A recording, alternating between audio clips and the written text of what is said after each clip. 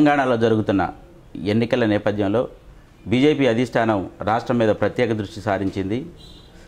రాష్ట్రంలోని అనేక స్థానాలకు ఇప్పటికే అభ్యర్థులను కూడా ప్రకటించింది. అందులో భాగంగా పాలేరు నియోజకవర్గం నుండి బీజేపీ అభ్యర్థిగా కొండపల్లి శ్రీధర్ రెడ్డి గారు పోటీ చేస్తున్నారు.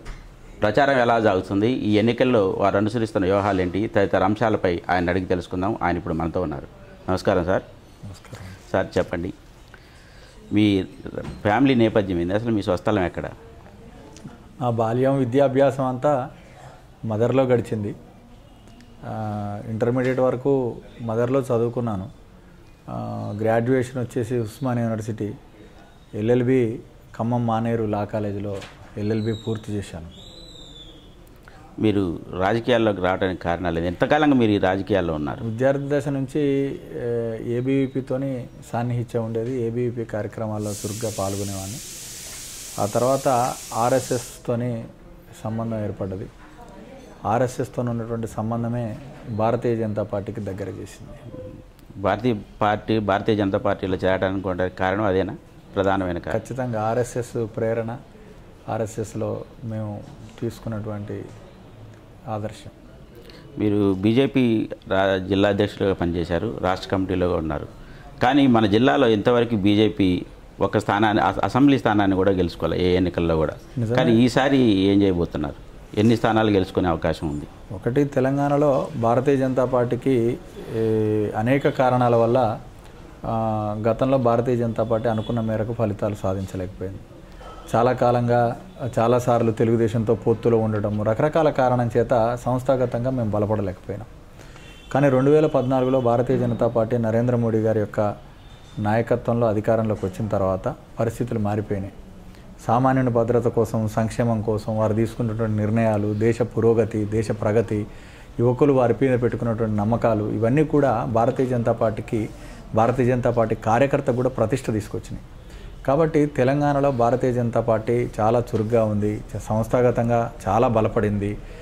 ఈరోజు తెలంగాణలో ఒక ప్రత్యామ్నాయ శక్తిగా భారతీయ జనతా పార్టీ ఎన్నికల్లో అవతరించబోతుంది అనడంలో ఎటువంటి సందేహం లేదు. మీ పాలేరులో మీరు గెలవడానికి గల అవకాశాలు ఏంది? మీరు గెలుస్తానని ఎలా అనుకుంటున్నారు? ఒకటి రెండు విషయాల మీద నాకు చాలా స్పష్టత ఉంది.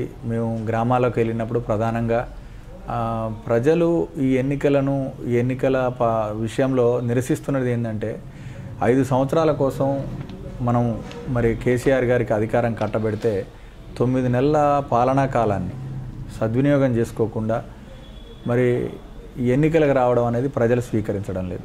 రెండవది ఈ ఎన్నికలు కేసీఆర్ కుటుంబ అహంకారానికి తెలంగాణ ప్రజల యొక్క ఆత్మగౌరవానికి మధ్య జరుగుతున్నటువంటి యుద్ధంగా తెలంగాణ ప్రజలు భావిస్తూ ఉన్నారు.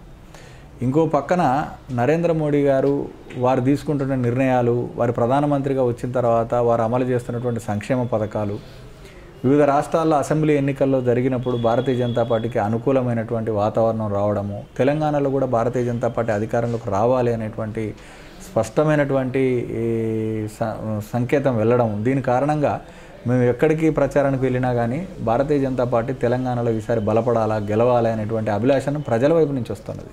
తెలి అధికార పార్టీ. మేము పాలేరు నియోజకవర్గంలో బ్రహ్మాండమైన అభివృద్ధి చేశాం. డెబ్బై వేల ఎకర భక్త రామదాస్ ప్రాజెక్టు ద్వారా డెబ్బై వేల ఎకరాలకు నీరు అందిస్తున్నాం. సంక్షేమ అభివృద్ధి కార్యక్రమాలు అనేకం ప్రవేశపెట్టాం. మా విజయం నల్లేరు మీద నడకే అంటున్నారు. దానికి మీరేమంటారు? తుమ్మల నాగేశ్వరరావు గారు చెప్తున్న అభివృద్ధి అంతా ఆయన వంది మాగతలు చేస్తున్నటువంటి ప్రచారం. రెండు కాగితాల మీద అభివృద్ధి ఆయనకు భజన చేసే పత్రికల్లో వచ్చేటువంటి వార్తలు తప్ప క్షేత్రస్థాయిలో వాస్తవం లేదు. రెండవది వారు చెప్తున్నటువంటి భక్త రామదాసు ప్రాజెక్ట్ అనేది రాత్రికి రాత్రి ఉద్భవించింది కాదు అది. గతంలో ఆ కాలువలు అవన్నీ కూడా తీసి ఉన్నాయి. రెండవది పాలేరు రిజర్వాయర్లోకి కొత్త నీరు కొత్త చుక్క నీరు రాలే. నీటి చుక్క కొత్త నీటి చుక్క రాలే. ఉన్న నీళ్ళలో మనం భక్తరామదాస్ ప్రాజెక్టు ద్వారా పాత కాలువల్లో మోటార్లు పెట్టి వేసిన మాట వాస్తవం. ఇదేదో ఈ తుమ్మల నాగేశ్వరరావు గారు వచ్చినట్టు ఆయనకు ఆయనే స్వయం ప్రకటిత భగీరథుడిగా ప్రకటించుకొని ఏదో బ్రహ్మాండం బద్దలైపోయిందని చెప్పి చేస్తున్నటువంటి ప్రచారంలో వాస్తవం లేదు. రెండోది పాలేరులో అభివృద్ధి బ్రహ్మాండంగా జరిగిపోయిందని చెప్తున్నటువంటి వా- మాటలో కూడా వాస్తవం లేదు. చాలా సూటిగా ప్రజలు అడుగుతూ ఉన్నారు ఇలా ఏ గ్రామంలో కేజీ టు పీజీ ఉచిత విద్య అమలవుతూ ఉంది? ఏ గ్రామంలో దళితులకు మూడు ఎకరాల భూమి ఇచ్చారు? ఏ గ్రామంలో గిరిజనులకు మూడు ఎకరాల భూమి ఇచ్చారు? ఏ గ్రామంలో ఇలా రెండు పడకల ఇండ్లను పూర్తి స్థాయిలో ఇచ్చారు? ఇటువంటి అనేక ప్రశ్నలు సమాజంలో వస్తూ ఉన్నాయి. కాకపోతే ఏమిటి అంటే ఇలా ఉన్నటువంటి పరిస్థితుల్లో తన చుట్టూ ఉన్నటువంటి వంది మాగల ద్వారా భజన పరుల ద్వారా ఏదో జరగ పాలేరు అసలు ఇస్తాంబుల్గా మారిపోయింది అనేటువంటి ప్రచారం తప్ప ఈ ప్రచారమే తుమ్మల నాగేశ్వరరావు గారు కొంప ముంచబోతా ఉంది. ఈ ప్రచారంలో ఎటువంటి వాస్తవం లేదు. క్షేత్రస్థాయిలో అభివృద్ధి లేదు. ఇలా ఎక్కడ ఏ తండాకు పోయినా కానీ ఇలా బంజారా బిడ్డలు బగ్గుమంటున్నారు. ఇలా అధికారంలోకి రాకముందు కేసీఆర్ గారు ఏం చెప్పినాడు తెలంగాణ ఉద్యమ సమయంలో? పన్నెండు శాతం రిజర్వేషన్ బంజారాలకు ఇస్తామని చెప్పినాడు. ఈరోజు నాలుగున్నర సంవత్సరాల తర్వాత కాడి కింద పడేసి మళ్ళీ ఓట్లు వేయండి బంజారాల బాగోగులు చూస్తా అంటున్నాడు. మా పన్నెండు శాతం రిజర్వేషన్లు ఏమైపోయినాయి సారు అని చెప్పి అలా బంజారా బిడ్డలు అడుగుతా ఉన్నారు. ఇట్లే దళితులు మూడెకరాల సంగతి అడుగుతా ఉన్నారు. ఈరోజు రెండు పడకల గదులు ఏమైనాయని అడుగుతా ఉన్నారు. ఇటువంటి పరిస్థితుల్లో ఈ యొక్క ప్రచారము ఈ ప్రచార ఆర్భాటమే రేపు తుమ్మల నాగేశ్వరరావు గారికి ఓటమికి ఇది కారణం కాబోతోందని చెప్పి నేను విశ్వసిస్తా ఉన్నాను. మీరు పాలేరు నియోజకవర్గంలో గెలిస్తే మీరేం చేయబోతున్నారు? ఖచ్చితంగా భారతీయ జనతా పార్టీకి ఒక ప్రణాళిక ఉంది. సుశిక్షితులైనటువంటి ఏ, మా యొక్క కార్యకర్తల ఘనం ఉంది. సమస్యల మీద మాకు అవగాహన ఉన్నది. ఈరోజు ఇప్పటికే తెలంగాణలో అంతో ఇంతో అభివృద్ధి కార్యక్రమాలు జరుగుతున్నాయంటే దానికి భారతీయ జనతా పార్టీ నరేంద్ర మోడీ గారి నాయకత్వం కారణం. ఈరోజు పద్నాలుగో ఆర్థిక సంఘం కింద గ్రామాలకు నిధులు వచ్చినా సీసీ రోడ్లు అవుతా ఉన్నా లేకపోతే ఈరోజు ప్రధానమంత్రి ఉజ్వల యోజన పథకం కింద నిరుపేదలకు గ్యాస్ కనెక్షన్లు వచ్చినా నిరుద్యోగులకు ముద్రా యోజన కింద వచ్చినా ఇలా ఆడపిల్లలను సంరక్షించడం కోసం బేటీ బచావో బేటీ పడవో కింద సుకన్య సమృద్ధి యోజన అమలవుతా ఉన్న అనేక కార్యక్రమాలు మీరు ఏ కార్యక్రమాలు తీసుకోండి దాంట్లో కేంద్ర ప్రభుత్వం పాత్ర గణనీయంగా ఉన్నది.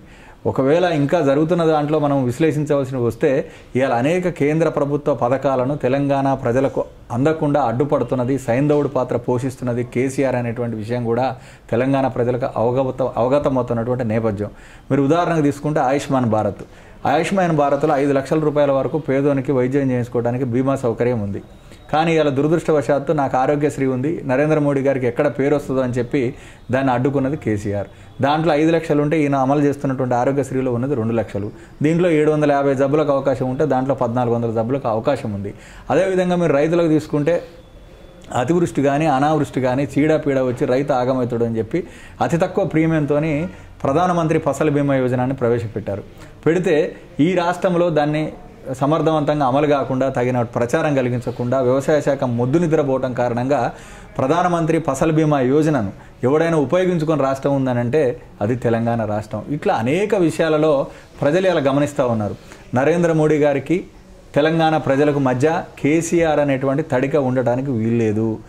నరేంద్ర మోడీ గారి పాలన వారి యొక్క సంక్షేమ ఫలాలు నేరుగా తెలంగాణ ప్రజలకు అందాలంటే భారతీయ జనతా పార్టీ ప్రభుత్వం ఇక్కడ కూడా రావాలనేటువంటి అభిలాష ఈరోజు తెలంగాణ ప్రజల్లో ఎక్కడ పోయినా ఉంది అది పాలేరు ప్రజల్లో కూడా ఉంది.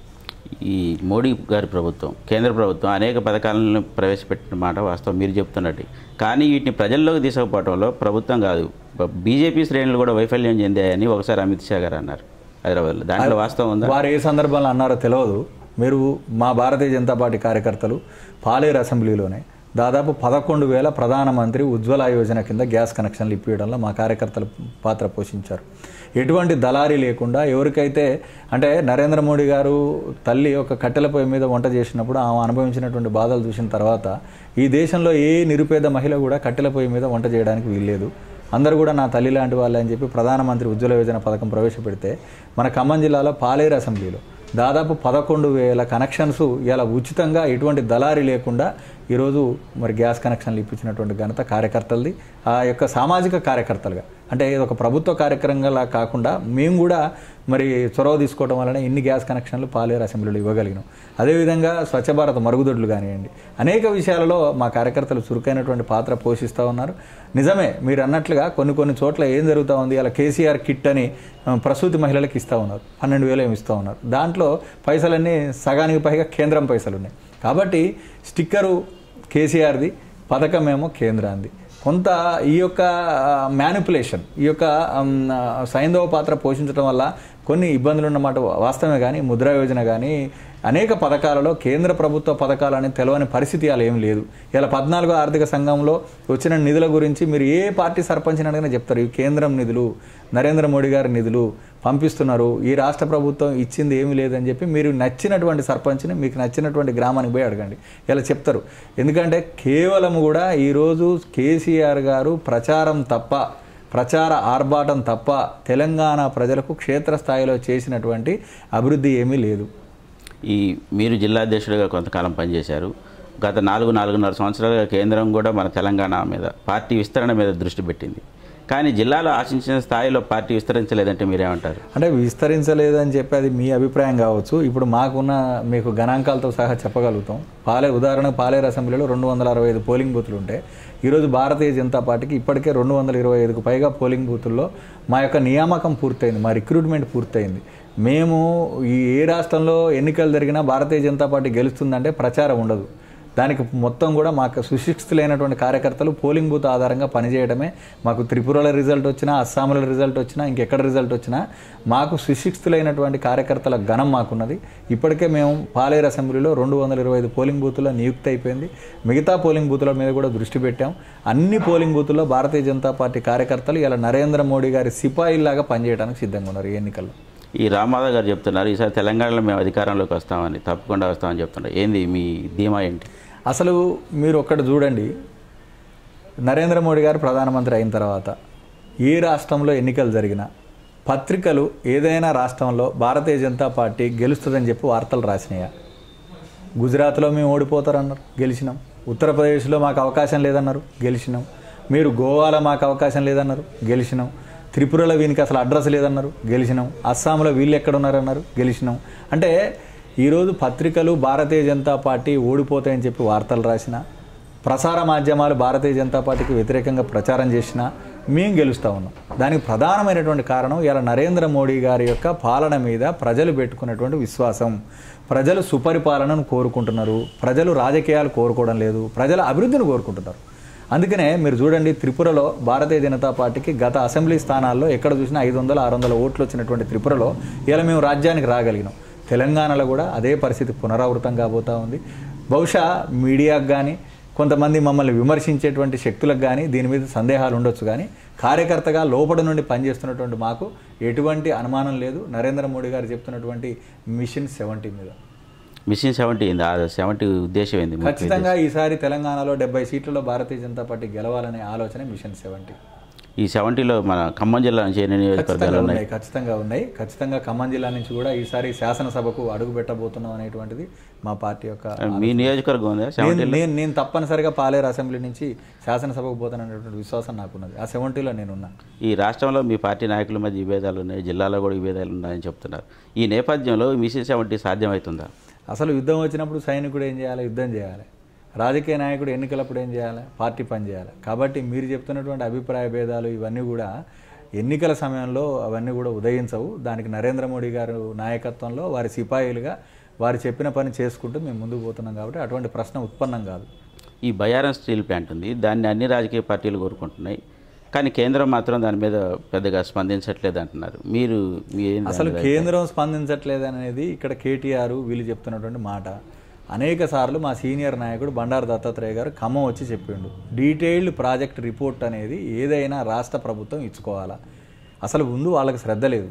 బయ్యారంలో స్టీల్ ప్లాంట్ పెట్టుకోవాలనేటువంటి ఆలోచన సోయి ఈ యొక్క కేసీఆర్ ప్రభుత్వానికి లేదు. ఇలా కేంద్రము చాలా ఉదారంగా ప్రతి చోట కూడా కేంద్ర పరిశ్రమలను నెలకొల్పాలనేటువంటి ఆలోచనతో ఉన్నమాట వాస్తవం. ఇలా ఖమ్మం జిల్లాలో వి- కొత్తగూడెంలో విమానాశ్రయం పెట్టాలనే ఆలోచన కానీ ఇక్కడ కానీ అనేక విషయాలలో కేంద్రం ముందుకు వస్తుంటే ఈ భూసేకరణ విషయంలో కానీ అనేక విషయాలలో రాష్ట్ర ప్రభుత్వం చొరవ చూపిన కారణమే తప్ప ఈ రోజు ఏంటంటే ఒక గుడ్డ కాల్చి మీద వేయటమే. ఇలా కేంద్రంలో భారతీయ జనతా పార్టీ ప్రభుత్వం చాలా అనుకూలంగా రాష్ట్రాలకు ఏదైనా ఏ పరిశ్రమని ఇవ్వ- ఇవ్వడానికి సిద్ధంగా ఉన్నారు. అదేవిధంగా బయ్యారం స్టీల్ ప్లాంట్కి కూడా భారతీయ జనతా పార్టీ పూర్తి యొక్క దానికి సాధికారత ఇవ్వడానికి దాన్ని నెలకొల్పడానికి పూర్తిగా సిద్ధంగా ఉంది. ఈ మీ నియోజకవర్గంలో కూడా ఐరన్ ఓర్ ఉన్నది మీరు గెలిస్తే ఎటువంటి ప్రయత్నం చేస్తారు? ఖచ్చితంగా ఇది ఒకటి ఏంటంటే ఎక్కడైనా సహజ వనరులు అక్కడ ఉన్నటువంటి వాళ్ళకు ఉపాధి కల్పించాలి.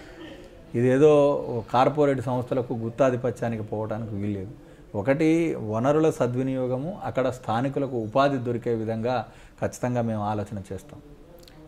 ఈ అసెంబ్లీ ఎన్నికల్లో మీ ఎన్నికల మేనిఫెస్టో ఏంటి? మీరు చివరిగా ప్రజలకు ఏం చెప్పదలుచుకున్నారు? ఒకటి భారతీయ జనతా పార్టీ గెలిస్తే పాలేరు అభివృద్ధి మీద మేము ఇప్పటికే స్థానిక బీజేపీ నాయకులతో కలిపి మేనిఫెస్టో కూడా తయారు చేసాం అనేక సమస్యలు ఉన్నాయి.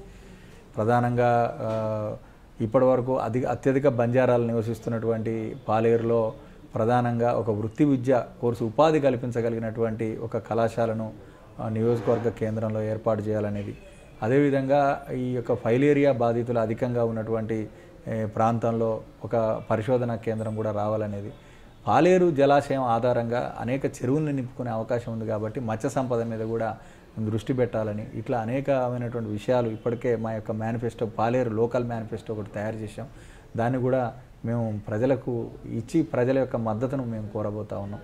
ఇలా అనేక అనేక విషయాలు అనేక విషయాలు దృష్టికి వచ్చినాయి ఎందుకంటే ఇప్పుడు జరుగుతున్నటువంటి ప్రచారం ఏంటంటే ఈ ప్రచారము ఉన్న- మొత్తము ఈ యొక్క తుమ్మల నాగేశ్వరరావు గారి హయాంలో ఏదో పాలేరులో మొత్తం బ్రహ్మాండం బద్దలైపోతుందని జరుగుతున్న ప్రచారంలో ఎటువంటి వాస్తవం లేదు. ఇలా మేము అనేక గ్రామాలకు పోయినప్పుడు రిసీవింగే చాలా గొప్పగా స్వాగతిస్తూ ఉన్నారు. నరేంద్ర మోడీ గారు లాంటి పాలన ఇక్కడ కూడా కావాలా రావాలా అనేటువంటి విషయాలు ప్రజలు చెప్తా ఉన్నారు.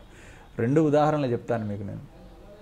ఆయన అంత గొప్పగా అభివృద్ధి చేసి ఉంటే అనేక గ్రామాలలో ఆయన ప్రచార రథాలు తిప్పి పంపుతున్నారు. మాకి మా గ్రామానికి మీరు రావాల్సినటువంటి అవసరం లేదని చెప్తున్నారు. ఇదొక్కటే ఉదాహరణ. మీరు కేసీఆర్ గారు ప్రకటించినటువంటి అనేక మంది ఎమ్మెల్యే అభ్యర్థుల విషయంలో ఇక మన జిల్లాలోని తాటి వెంకటేశ్వర్లు కానీ మదన్ లాల్ కానీ తుమ్మల నాగేశ్వరరావు గారు కానీ ఏ అభ్యర్థికైనా గ్రామాలలో చేదు అనుభవాలు ఎదురవుతున్నాయి అసలు మీరు మా గ్రామానికి రావాల్సినటువంటి అవసరం లేదని చెప్తా ఉన్నారు. కాబట్టి పత్రికల్లో వచ్చే వార్తల ఆధారంగా మనం అక్కడ ప్రజల నిర్ణయం ఉందనుకుంటే అది పొరపాటు అనేది నా ఉద్దేశం. థ్యాంక్ యూ సార్ మీ అమూల్యమైన సమయాన్ని వెచ్చించి మా షోలో పాల్గొన్నందుకు. నమస్కారం. ఇది శ్రీధర్ రెడ్డి గారు చెప్తున్నారు. మరొకరితో మరో సమయంలో కలుసుకుందాం. అంతవరకు సెలవు. నమస్కారం.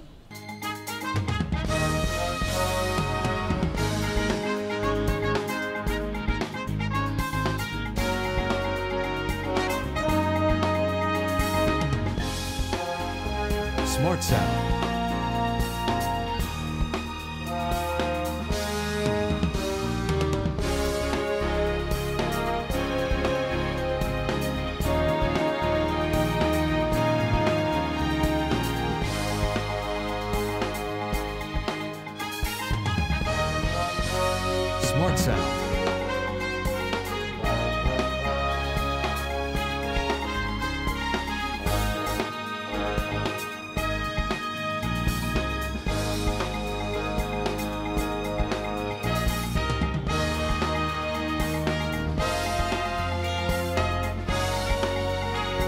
out.